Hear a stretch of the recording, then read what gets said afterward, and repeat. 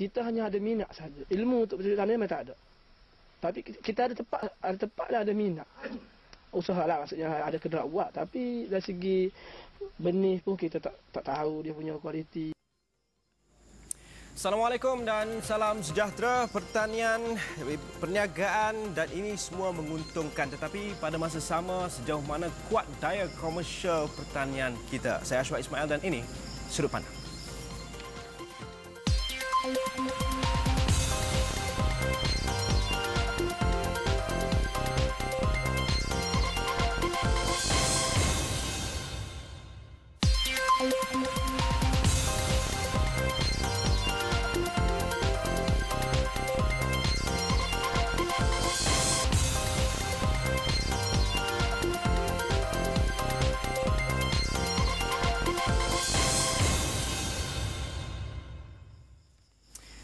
Baik, apabila kita bercakap mengenai uh, pertanian ini bidang yang menyumbang kepada pembinaan ekonomi negara pasca merdeka sehingga kini kita tahu ia mengalami pelbagai fasa evolusi dan pada masa sama kemodenan dan usaha untuk memodernkan pertanian ketika ini juga sedang menghadapi pelbagai isu-isu yang kritikal. Itu realiti ketika ini dan sebelum itu kita terus meninjau di mana Astro Awani turun ke lapangan untuk meninjau salah seorang petani dan juga pesawah kita bagaimana mereka mengusahakan ladang. Kita saksikan.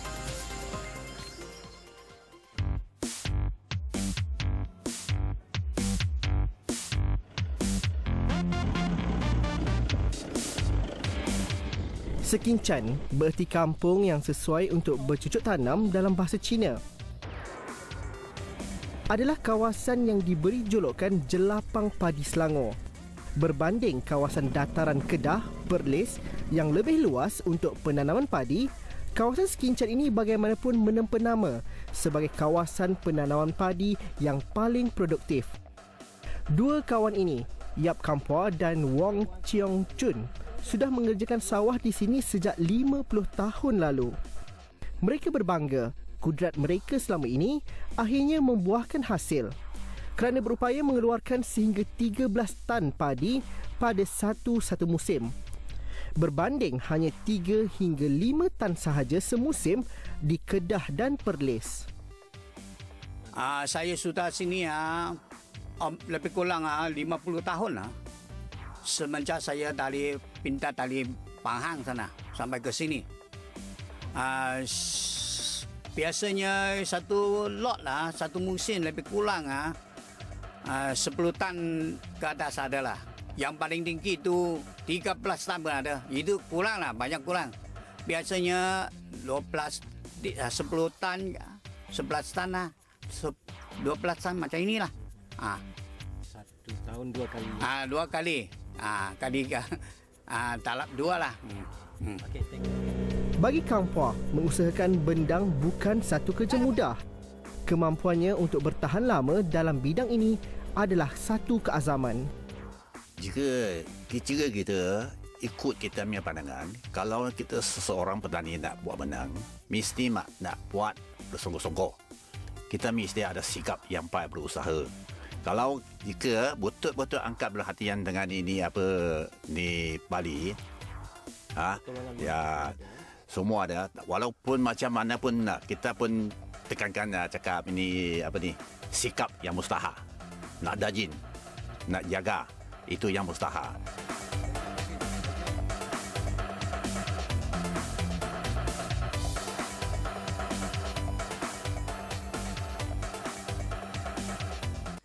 Baik, saya berterima kasih kepada uh, Universiti Kebangsaan Malaysia yang memberi peluang kepada kami bersiaran secara langsung dari Rumah Hijau UKM ini dan saya tidak berkesorangan bagi membincangkan mengenai pertanian ini uh, bersama saya ketika ini ialah Dr. Anizan Ishak iaitu pensyarah Fakulti Sains dan Teknologi UKM. Terima kasih uh, Doktor dan seterusnya saudara Salihuddin Yahya atau lebih mesra dengan panggilan Pak Tam iaitu jurunding tanaman padi dan seorang lagi anak muda iaitu Aimi Nabila Husin iaitu graduan pertanian Universiti Putra Malaysia UPM. Terima kasih dan di bilik berita kita ada seorang lagi anak muda 23 uh, tahun usianya iaitu Engku Anwar Hilmi, pengusaha tanaman sayur yang akan sedikit sebanyak berkongsi pengalaman dan cabaran serta aspirasinya dalam bidang pertanian dalam konteks masa hadapan. Dan sebelum kita memulakan diskusi ini, saya ingin bersama Marina Manaf, rakan setugas untuk sedikit sebanyak berkongsi dengan kita insentif dan inisiatif yang telah pun digariskan dalam bajet 2014 dalam bidang pertanian ini. Nah, silakan. Baik, terima kasih Ashwa dari lokasi. Dan sebenarnya kalau kita lihat um, betapa pentingnya kerajaan memberikan tumpuan kepada sektor pertanian untuk memperkasakan semula sektor ini uh, berdasarkan ringkasan bajet 2014 yang telah disediakan oleh uh, penerbit kami. Uh, kerajaan telah memberi peruntukan uh, 6 bilion ringgit antaranya untuk menebuhkan Food and Agro Council for Export yang mana ini adalah pemudah cara untuk meningkatkan ekspor produk pertanian tempatan. Dan yang mana akan membolehkan kesegaran produk tempatan kerajaan akan menyediakan kemudahan bilik sejuk Uh, di uh, KLIA. Dan uh, selain itu sebanyak 243 juta ringgit diperuntukkan untuk program tanaman semula getah, kelapa sawit, koko serta program ladang hutan dan tak tak tak ketinggalan projek ternakan udang kara di Sempurna yang dilakukan dengan kerjasama syarikat multinasional untuk menghasilkan sebanyak 18,000 tan metrik udang yang dijangka dapat mewujudkan 20,000 peluang pekerjaan dan membantu lebih uh, 6,000 pengusaha tempatan pada jangka panjang serta meningkatkan pendapatan sehingga RM4,000 ringgit sebulan. Ashwat. Okey, terima kasih Maina Manaf. Uh, kita mula diskusi dengan Pak Tam, jururunding uh, tanaman padi yang saya turun uh, bersama memberi latihan pada pesawah-pesawah kita. Pertama sekali mengenai isu-isu kritikal. Kita tahu pelbagai insentif dan inisiatif digariskan. Tetapi isu-isu yang kritikal melibatkan pertanian ini supaya kita dapat berganjak dari skala kecil itu, Pak Tam. Saya tengok dari segi uh, bidang persawahan, isu-isu kritikal di kawasan Mada, kawasan paling paling paling besar dalam negara dan dan membekalkan uh, lebih pada separuh daripada hasil beras negara. Ialah uh, keadaan uh, tanah sawah yang uh, yang perlu di saya rasa di baik pulih. Kerana ada kawasan-kawasan yang yang bermasalah untuk di uh, dimasuki jentera-jentera pertanian contoh contohnya. Itu yang pertama yang kedua isu bagi saya ialah isu penggunaan uh, bahan kimia yang pada bagi saya ialah pada tahap yang agak lebih daripada yang sepatut yang yang yang yang yang sepatutnya terutama di negeri Selangor uh, penggunaan penggunaan penggunaan uh, bahan penggunaan bahan kimia yang bahan kimia pertanian yeah. yang sangat tinggi. Uh, ya yang ketiga saya rasa kita perlu kita perlu mencari uh, penyelesaian uh-huh. pada masalah-masalah sekarang ni uh, kepada masalah padi angin dan masalah siput uh, siput gondang. Saya rasa penyelesaian itu kita kena uh, tengok kemungkinan jauh daripada cara yang kita tengok sekarang. Itu kita hanya kita hanya bila bila saja kita ada masalah kita tengok kepada kimia hmm. untuk hmm. untuk mementeraskannya. Okay. Uh, Dr. Anizan sedikit sebanyak uh, uh, ni dalam konteks sawah. Apabila kita cakap bidang pertanian secara meluas antara kaitannya mengenai keselamatan makanan kita sendiri domestik dan kedua Uh, keupayaan kita untuk nak memasarkan di dan daya saing kita memasarkan produk pertanian di uh, peringkat antarabangsa. Isu-isu kritikal itu bagaimana doktor? Ya. Yeah. Uh, sebelum itu saya ingat saya ingin memperkenalkan diri saya sebagai protem setiausaha kepada Persatuan Agroekologi Malaysia Serimas dan kebetulan Cik Salihuddin Pak Tam ialah timbalan um, ya, Serimas ya. Timbalan um, pengurusi. Jadi um, balik kepada isu pertanian negara sebenarnya uh, saya sangat mengalukan pembukaan kepada pasaran-pasaran uh, kepada petani uh, sekarang di bawah uh, bajet ini uh, dan walau bagaimanapun isu yang perlu diutarakan ialah makanan perlu di makanan jaminan bekalan makanan itu perlu di dipertengahkan um, dan di, diberi penekanan um, berbanding dengan makanan-makanan yang bernilai tinggi itu. Dan untuk itu kita perlu struktur-struktur yang kuat untuk membuka peluang kepada petani untuk memasuki uh, pasaran um, ekspor.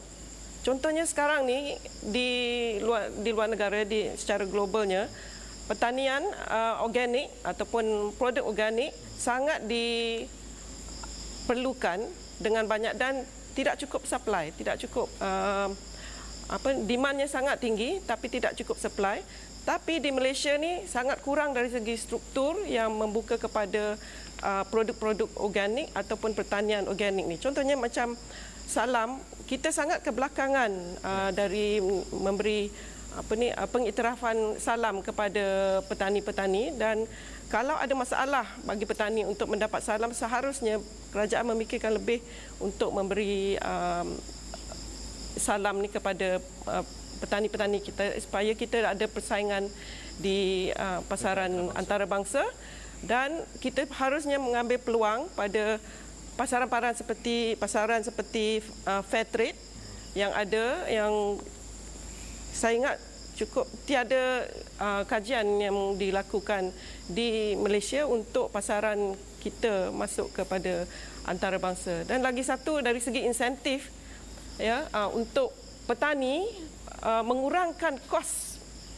uh, pengeluaran di di ladang ya. seperti dengan menggunakan bahan-bahan yang baja yang dikeluarkan sendiri yang berasaskan natural farming dan sebagainya perlu ditekankan dan kita perlu beri latihan melalui pengembangan yang um, yang bertujuan untuk mendapatkan pendapat petani itu sendiri untuk memberi apa yang dia uh, dirasakan masalah.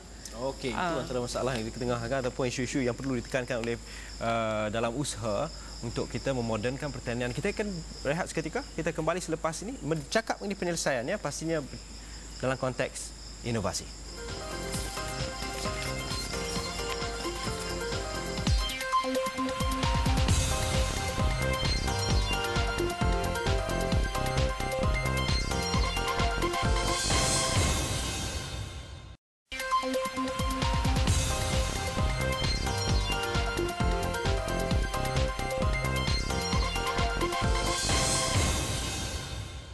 Bersiaran dalam uh, sudut pandang. Kami bersiaran secara langsung dari Kompleks Rumah Tumbuhan Fakulti Sains Universiti Kebangsaan Malaysia UKM dan realitinya bercakap mengenai pertanian, populasi penduduk dunia meningkat, kawasan pertanian pun mengecil, uh, sumber air, pemanasan global dan macam-macam. Ini cabaran. Apabila kita bercakap dalam mengenai cabaran, kita bercakap juga mengenai penyelesaian.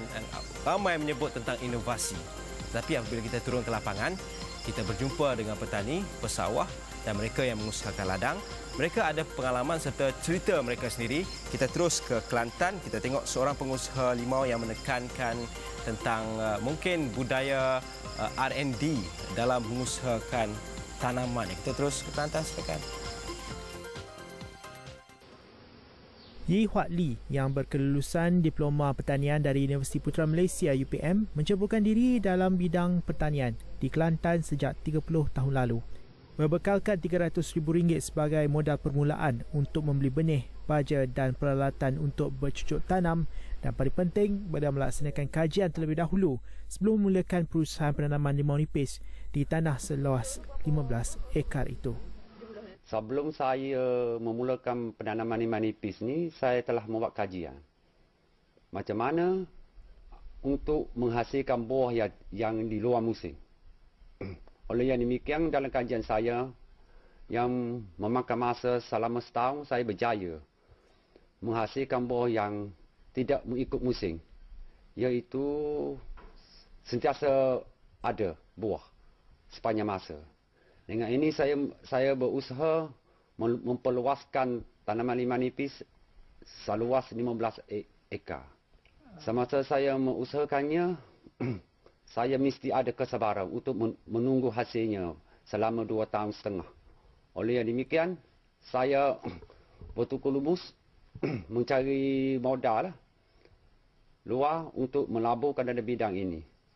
Kini Huat Lee berlapang dada setelah berupaya memperoleh 700 kg hingga 1 tan limau nipis sehari.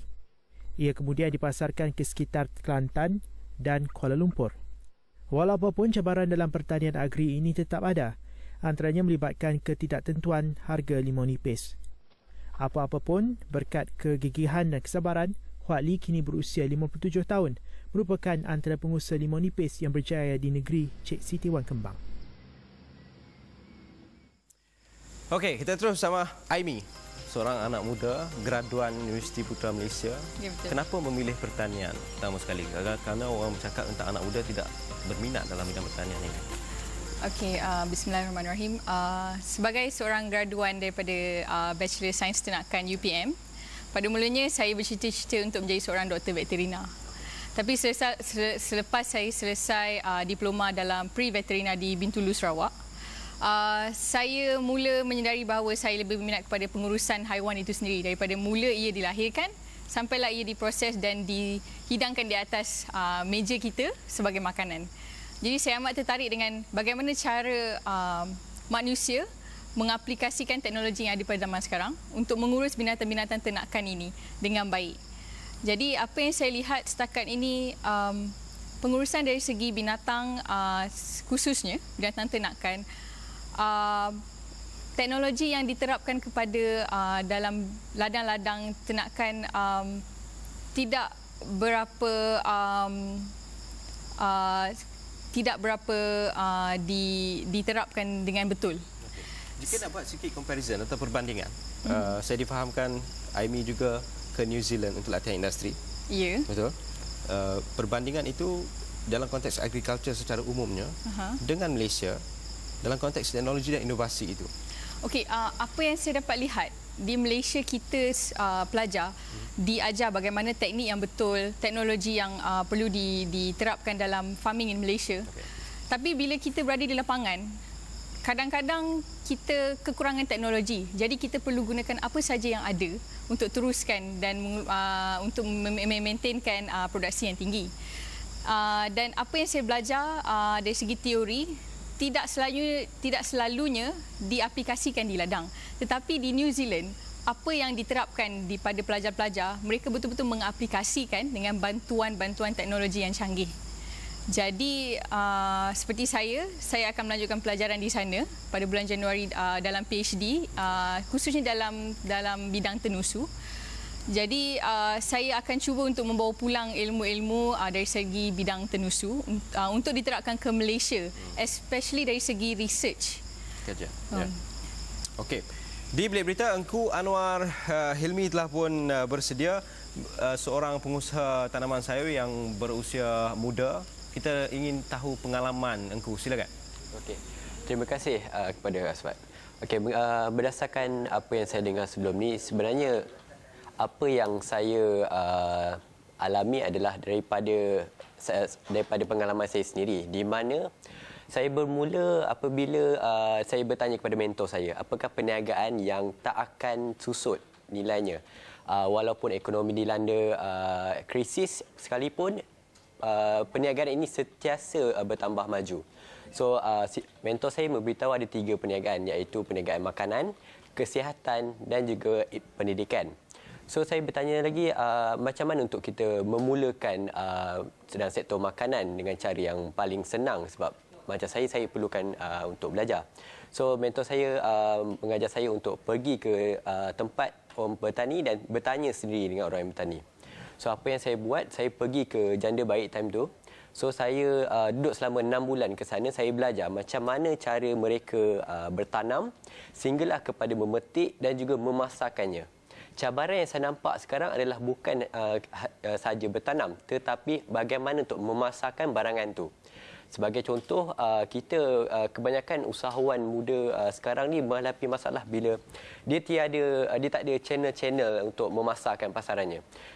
Dengan adanya bantuan kerajaan pada tahun ini diharapkan dapat lebih untuk kita me, menjual barangan itu terus daripada ladang tanpa pelibatan orang tengah.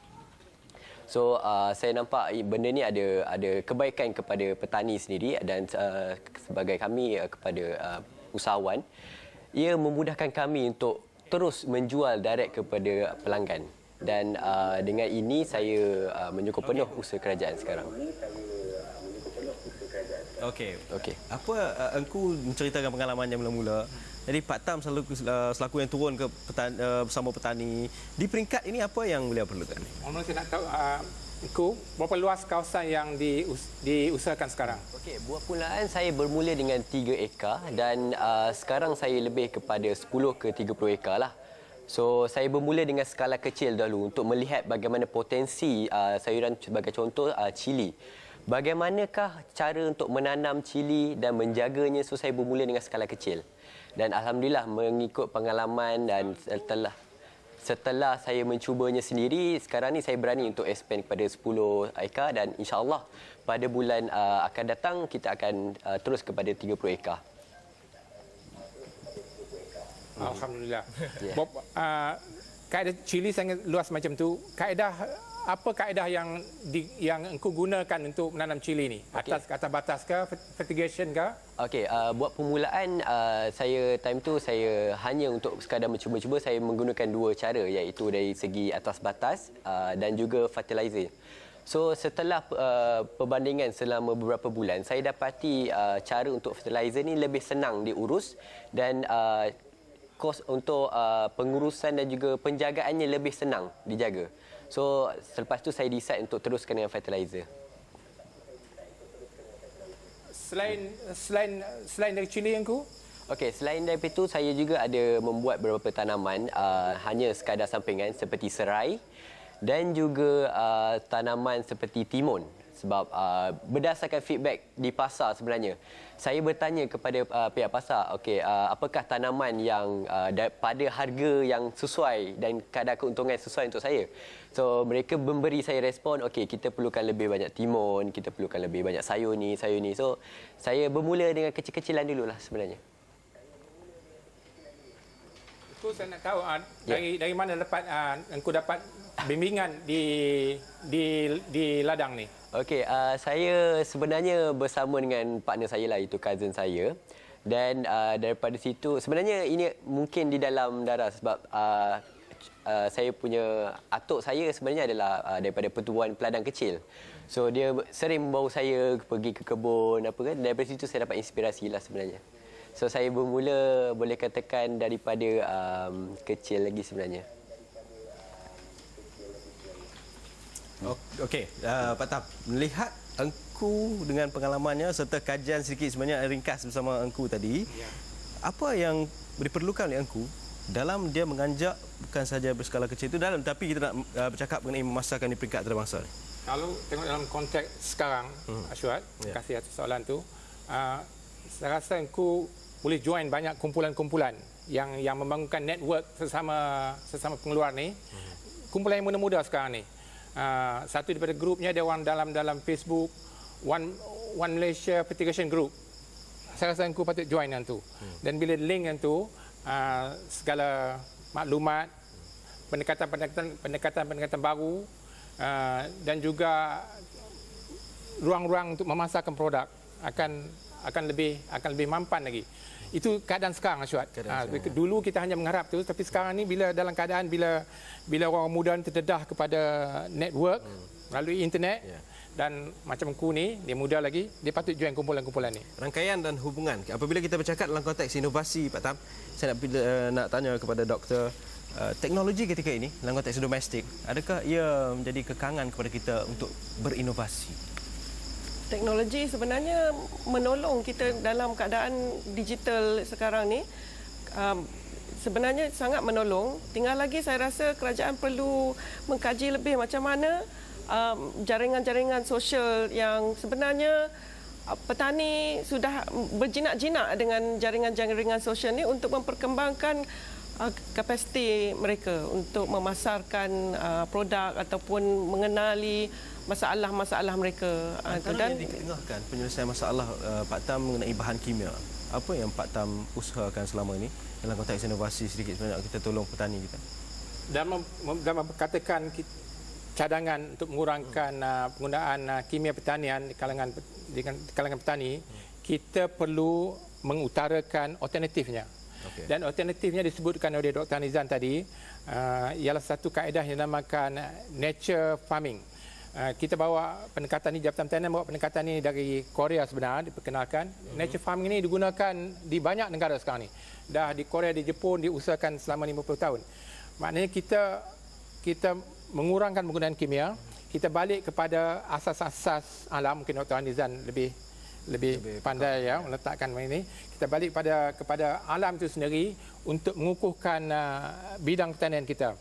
Uh, satu bidang yang yang jarang disebut ialah untuk untuk mengambil kesempatan uh, ilmu mikrobiologi iaitu menggunakan mikrob-mikrob dalam bidang pertanian ini. Selang, uh, pendedahan ini Dr. Nizam boleh explain lagi mungkin uh, adalah sangat sangat rendah di di Malaysia ni dalam okay, bercakap mengenai uh, balik kepada nature farming saya akan bawa sedikit di keluar sempadan Malaysia doktor. Kita akan berehat seketika. Kembali selepas ini kita lihat seorang pendatang uh, pendatang uh, Kenya di Amerika dengan inovasinya sendiri. Kita berehat seketika. Kembali selepas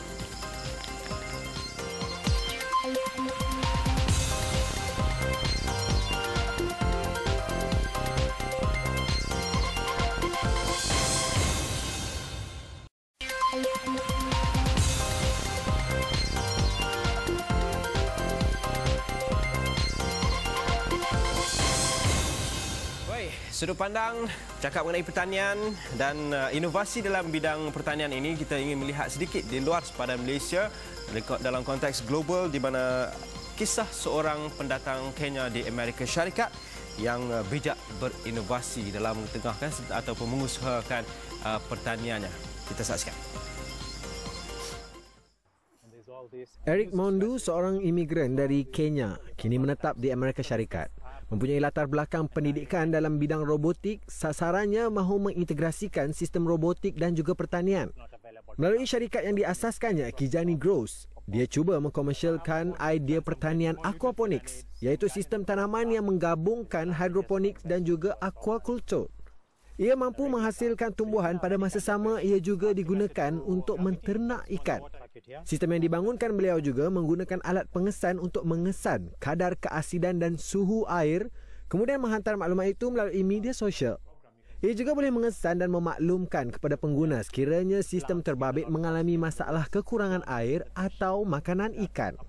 Idea aquaponics ini sudah pun digelar sebagai pertanian masa depan kerana ia membolehkan penduduk urban bercucuk tanam dan menternak ikan di kawasan yang berkepadatan tinggi. Kini, Mondu berhasrat menjual sistem ini kepada masyarakat sekaligus cuba membuka ruang lingkup baru dalam bidang pertanian urban. Okey, Dr. Nizam, kita bercakap mengenai sistem. Kita tengok macam mana dia inter, integrate ataupun integrasikan sistem itu pada masa sama, menekankan tentang nature farming itu sendiri. Eh, Doktor, kita sistem. Kita sistem. Okey, yang saya nak tekankan di sini, um, agak lain daripada aquaponics okay, tadi ialah sistem ekosistem itu sendiri. Ekosistem. Jadi kita sebenarnya pendekatan kita ialah mendapat sebaik yang mungkin daripada khidmat ekosistem. Di sini saya nak kenalkan uh, system of rice intensification iaitu satu sistem uh, penanaman padi.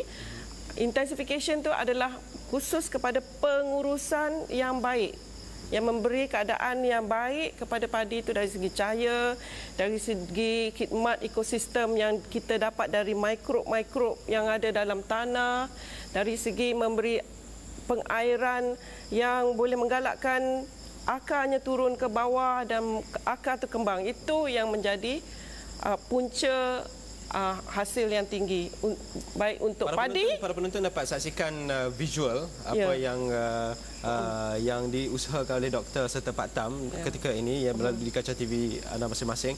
Uh, apa serta sistem yang diperkenalkan uh, doktor itu juga tidak boleh lari daripada cabarannya.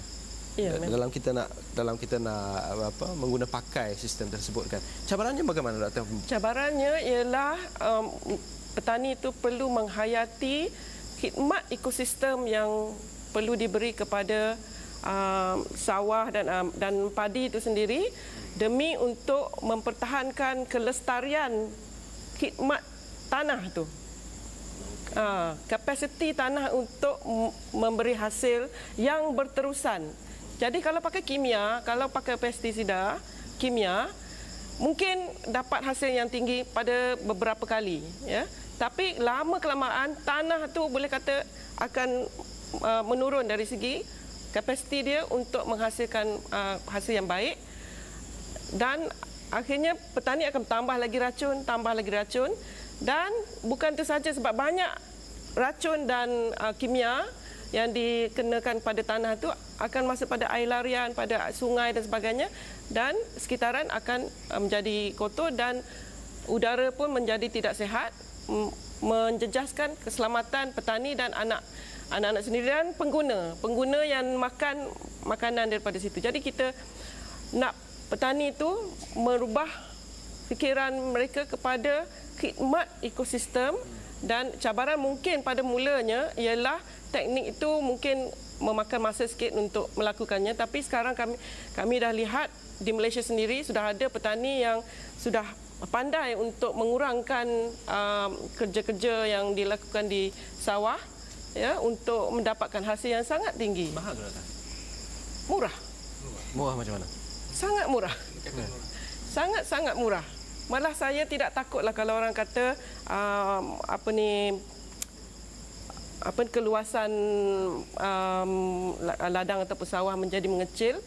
Kalaulah petani itu dapat mengoptimumkan khidmat ekosistem yang ada situ termasuklah memakai bunga untuk menggantikan pestisida dan sebagainya dia akan dapat mengurangkan kos pengeluaran pengeluaran sama ada padi ataupun tebu dan sebagainya. Kita ada juga sistem of crop intensification. Oh, dan kita ada uh, satu website yeah. antarabangsa yang di uh, di Cornell yeah. di mana uh, pemantauan kepada aktiviti-aktiviti yang berasaskan ekosistem services ni SRI ataupun SCI dipantau secara global. Uh, jadi apa yang kita nak utarakan adalah khidmat ekosistem sendiri dari segi semua. Kerja Pak Tam adalah turun besar yeah. dan dan jururunding maklumlah. Right. Jadi turun Betul. nak menceritakan nak meyakinkan para petani kita ni. Walau ya kosnya murah dan sebagainya tapi yeah. kita nak meyakinkan kita nak ganti dengan bunga. Contoh. Betul lah Syuat. Yeah. Um, apa yang diketengahkan oleh Dr. Nizan tadi. Kita nak uh, mana kita bila kita kata jangan guna kimia, kita kena alternatifnya. Dan kita kata ada kaedah-kaedahnya.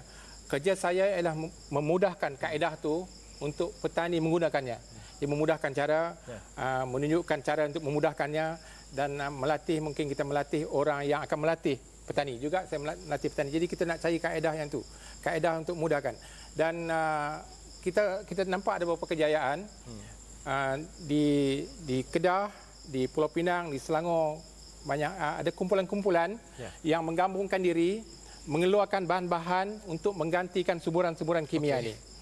Dan uh, ada petani yang berupaya mengurangkan uh, penggunaan kimia sehingga 70 ke 80% mana tidak menggunakan. Hmm. Dan bila tidak menggunakan bahan kimia ini, bukan kata dalam padi, yeah. dalam sayur pun, maknanya dia punya kos pengeluaran ya, dari segi modalnya akan akan kurang. Maknanya uh, keuntungannya akan yeah. akan akan akan lebih asyuat. Uh, jadi kita tengok kita kita rasa kita perlu mendedahkan petani kita kepada kaedah-kaedah ini kaedah yang Tuan Dizan sebut tadi kaedah balik kepada alam maknanya kita guna bahan-bahan yang tidak merosakkan tanah kita yang lebih menyuburkan tanah lebih ah, menyuburkan tanah dan kaedah-kaedah kita kata balik kepada alam ni ialah uh, mengguna bahan-bahan yang yeah. yang yang yeah yang yang Setakat ini penerimaan para petani kita adalah baik. Dan para petani mana yang dah bercuba tak akan balik ke kimia lagi.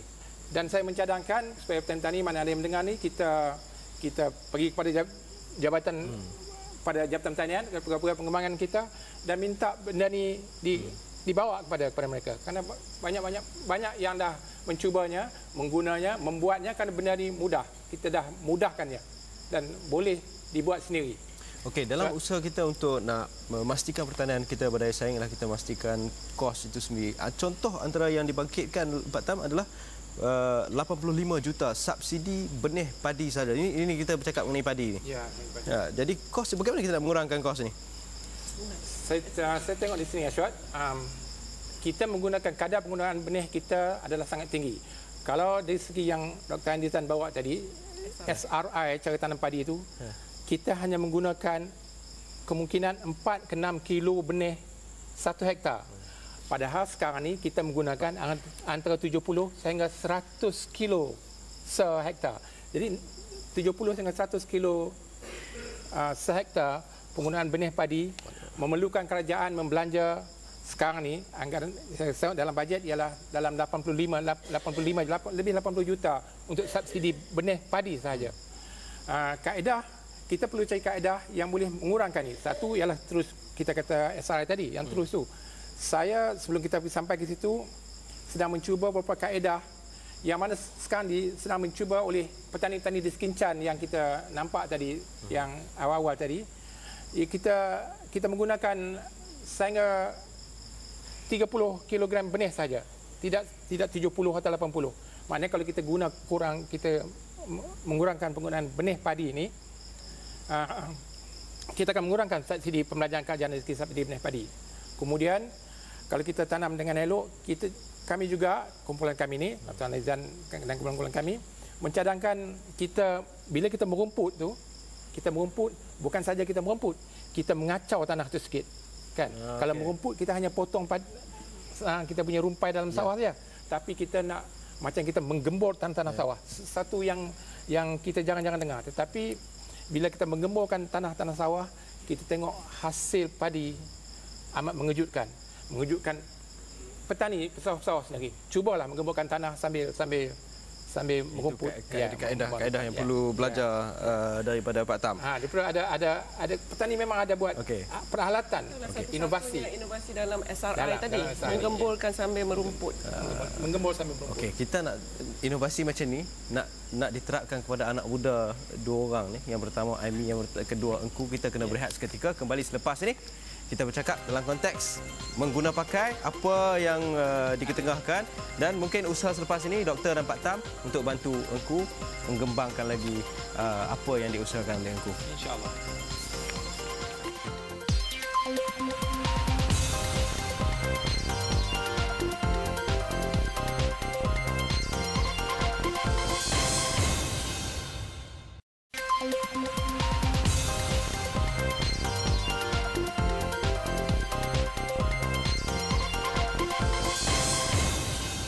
Ke Gua Musang meninjau seorang pengalaman uh, pengalaman seorang petani kita yang uh, boleh dikatakan uh, menempuh pelbagai dugaan ataupun kita gagal banyak kali tetapi pada masa sama belajar dan bangkit semula dalam bidang pertanian ini.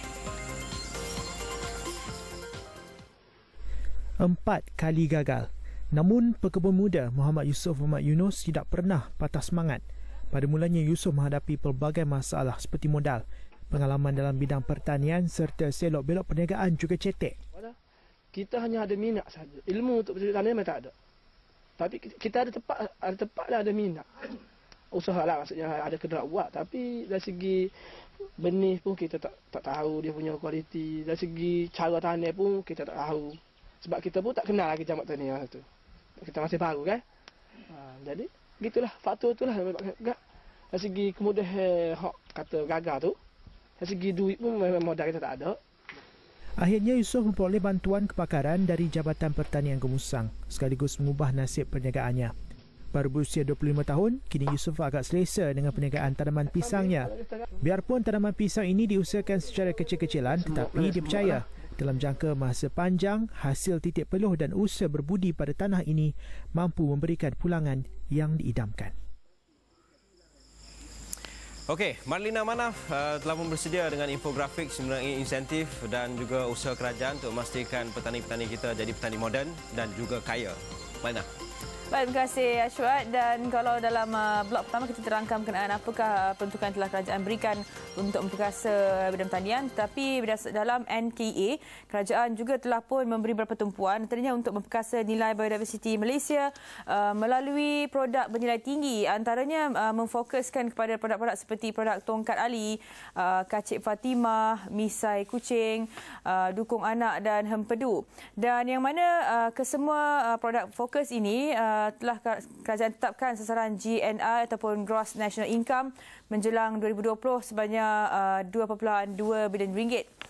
Dan grafik seterusnya berkenaan dengan NKA juga berkenaan dengan memperkasakan pengeluaran buah-buahan dan sayuran untuk uh, pasaran premium inilah uh, buah-buahan yang telah pun uh, dikacukkan dan mungkin uh, di uh, dipertingkatkan yang mana fokusnya adalah betik exotica, uh, nanas MD2, rock melon uh, KR, belimbing B10, nangka J32 dan pisang Cavendish, tomato, lada benggala yang mana kesemua produk uh, fokus produk ini uh, disasarkan uh, gross national income yang GNI menjelang 2020 adalah 1.4 bilion ringgit. Dan siapa tahu sebenarnya produk, uh, produk pertanian ini sebenarnya memberi peluangan yang tinggi dan mungkin ini boleh dibincangkan dan berlanjut Ashwat dan uh, panelnya. Okey, terima kasih Marlina. Aimi, kita nak tengok dalam perspektif melalui perspektif anak muda lah, strategi bagi memastikan agriculture itu sendiri bernilai tinggi. Okey, uh, daripada segi sudut pandangan saya, uh, strategi yang uh, uh, diwujudkan sendiri daripada dari segi UPM uh, UPM ada menerapkan satu uh, inkubasi usahawan tani untuk uh, graduan-graduan yang bukan uh, berbackgroundkan agriculture okay.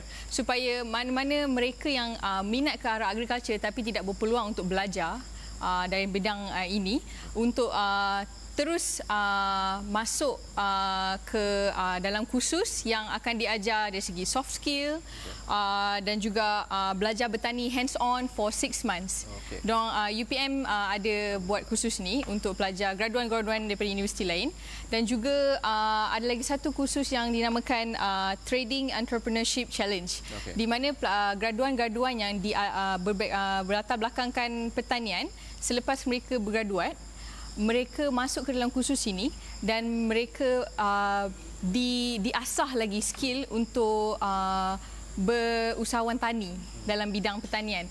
Uh, dan selepas mereka selesai dengan kursus ini, mereka akan cuba untuk uh, berniaga dengan sendiri.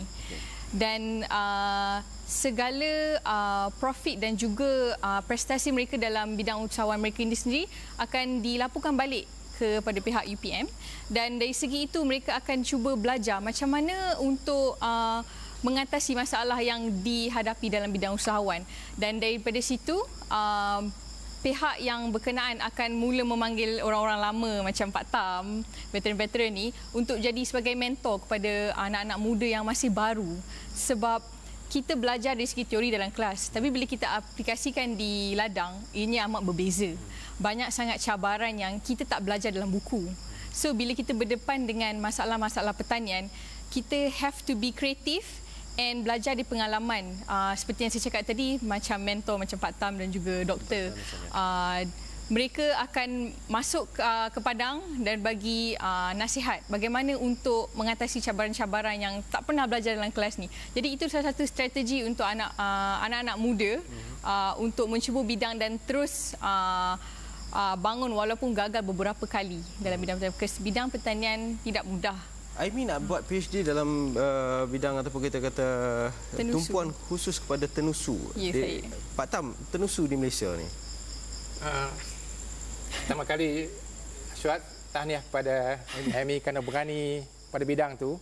Uh, bidang tenusu ialah bidang yang yang uh, tak banyak di jalankan Malaysia. di Malaysia ni. Dalam kata lain payah. Uh, betul, payah betul. dan uh, uh, uh, Amy dah sebut kata mungkin keadaan yang yang yeah. yang yang tidak sesuai ke sini untuk hmm. daripada ilmu susu.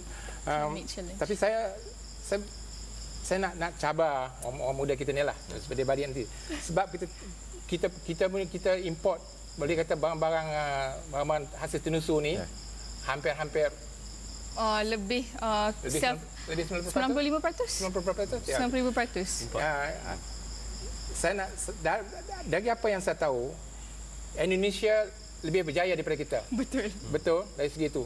Kita kena ini kena tengok balik bila balik kerja nanti bila sekarang pun kepada sejarah-sejarah yang terkebelakang yang kemudian dulu 20 30 tahun dulu sebab saya dipahamkan saya dulu dulu kerja orang pertanian juga bahawa Indonesia dengan kita mula mengusulkan pengeluaran tenusu ni pada masa yang sama, sama. pada tahap yang sama mm-hmm. tapi kita tertinggal mm-hmm. itu satu cabaran ni mana benda tu boleh dibuat tapi boleh ha, ada ada ada ke mana tu itu tu tapi tahniah pada dia kerana uh, bidang yang yang Amat mencabar. tahun? yang yang, Ah, yang sangat tiga ke empat tahun. Okey, tiga ke empat Tiga ke tahun empat nanti tahun. kita panggil dia lagi untuk ini. Jadi kita sebelum tu kita ke Engku dulu yang telah pun bermula.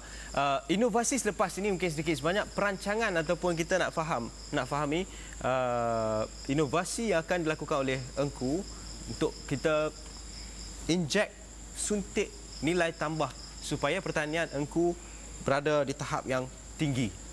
Yap. Engku?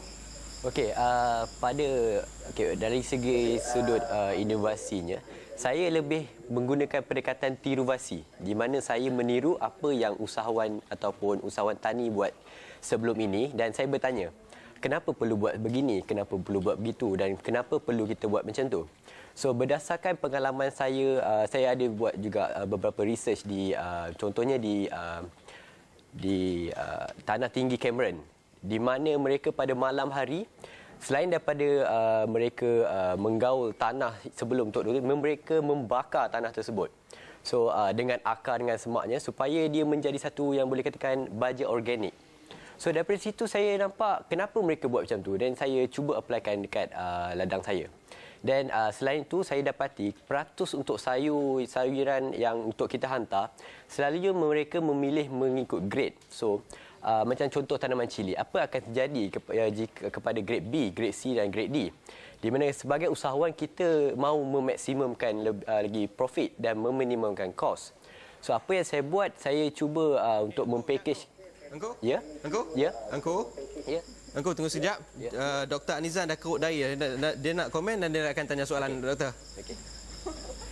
Uh, ini berkenaan dengan apa tu membakar tadi Ya. ya. Uh, kami dalam kumpulan Serimas atau Persatuan Agroekologi Malaysia hmm. lebih cenderung kepada kalaulah petani itu mereputkan bahan-bahan biomass yang ada supaya dia dapat kembalikan pada uh, tanah untuk menyehatkan tanah tu. Contohnya kita boleh pakai uh, mikrob bermanfaat uh, yang kami di UKM sekarang pun ada buat uh, kajian untuk menghasilkan supaya kom, apa, petani sendiri boleh menghasilkan hmm. uh, mikrob manfaat ni dengan um, pertolongan dari universiti atau institusi.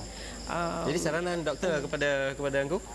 uh, gunakan um, mikrob-mikrob bermanfaat untuk menyehatkan tanah dan insyaAllah um, tanah itu akan memberi khidmat yang berpanjangan. Kalau bakar ni... Uh, Okey, itu reaksi uh, doktor. Okey, engkau engkau apa reaksi kepada apa yang dikatakan oleh Okey, doktor uh, kepada engkau saya, tadi? Saya uh, agak kurang setuju dengan pandangan doktor di mana sebagai usahawan sebenarnya apa yang kami lakukan adalah untuk meminimumkan kos. So uh, saya bertanya dulu uh, sebelum saya membuat tu uh, kenapa perlu bakar? Sebenarnya ia adalah menjimatkan kos untuk uh, memba- membaja sekaligus membuang segala uh, rumput ataupun rumput rampai. So benda tu uh, kami sebagai usahawan sebenarnya seboleh-boleh kami nak meminimumkan kos. So kalau contoh kena letak macam microbe ke apa pada pendapat peribadi saya saya rasa itu akan lebih menambahkan kos kami lah. Seboleh-bolehnya kami mahukan uh, satu penyelesaian yang tepat dan kalau boleh benda tu dia senang untuk diaplikasikan. Kalau tak kenapa uh, petani di Cameron Highlands se- melakukannya? Dok, doktor Ya ya ya ni doktor uh, apa yang eh, apa saranan doktor tadi mahal ke? Sampai uh, engkau sangat, sangat murah. Ya. Ada yang boleh dibuat sendiri. Ha, Patam. Ada yang boleh buat Okey, Pa- Pa- sendiri. Patam, Patam nasihat, Patam nasihat. Ah, Engkau, engkau Patam. dengar dengar Patam pula nak bagi komen. Saya punya komen ku eh. Ya. Uh, Ya. uh, kau kena pergi kepada Jabatan Pertanian. Mhm. Kita cari ini kita kemungkinan kita kena lupa sikit kita punya pendekatan-pendekatan kita buat sekarang buat buat sementara. Pergi kepada Jabatan Pertanian, Mhm. minta ilmu nature farming. Di, uh, minta ilmu nature farming kepada kepada kepada Jabatan Pertanian uh, dan dan ilmu ni banyak digunakan oleh kawan-kawan penanam penanam sayur yang yang muda-muda umur macamku di sebelah Banting uh, sana menggunakan ilmu-ilmu ni dan uh, dia dapat mengurang, mengurangkan kos dengan dengan dengan banyak menggunakan mikrob ni. Okey, kita buat matematik sikit Patam. Ha. Patam punya murah macam mana? Macam mana punya Murah murah? macam mana? Okey. Dalam sistem fertigasi dia, hmm. engkau penanam-penanam cili ni bila menggunakan kaedah ni dia punya penggunaan baja A dan B dia tinggal separuh saja engkau. Uh-huh. Uh, baja A dengan B dalam kita guna fertigasi itu bila diguna sistem pendekatan ni baja dia tinggal separuh. Penggunaan kimia sangat-sangat kurang. malah dikurangkan penggunaan kimianya sebanyak 70 hingga 80% penggunaan kimia. Berapa ringgit? Ha? Kira-kira Dari segi, oh, dari segi kalau kata penggunaan kimia dalam dalam tanaman sayur ni Syuat Ya. sangat-sangat tinggi. Ya. Kalau kita guna kimia, kalau kita tan- tanam timun contohnya, Hmm. empat hari sekali kita boleh sembuh. Okey. Ah. Engku, engku. Ya. Reaksi? Okey. Uh, kalau bagi saya kalau benda tu boleh mengurangkan lagi kos saya uh, pada saya apa salahnya untuk mencuba. Sebab sebagai usahawan sebenarnya kami bersedia untuk mencubanya. Cuma dia bergantung kepada kosnya lah selalunya. Selagi ia uh, boleh menambah nilai kepada uh, perniagaan kami, saya rasa tak ada masalah untuk kami mencuba. Ah, ini peranan Pak Tam sebagai selaku jururunding turun ke petani ya dan InsyaAllah, memberi ya. dan memberi memberi sedikit latihan dan juga ilmu dan maklumat supaya mereka dapat menerapkan apa yang kita cuba berinovasi. Kita akan berehat seketika dan uh, kita akan masuk segmen akhir 3 minit saja selepas ini kita bagi Pak Tam dan semua ahli panel untuk merumuskan.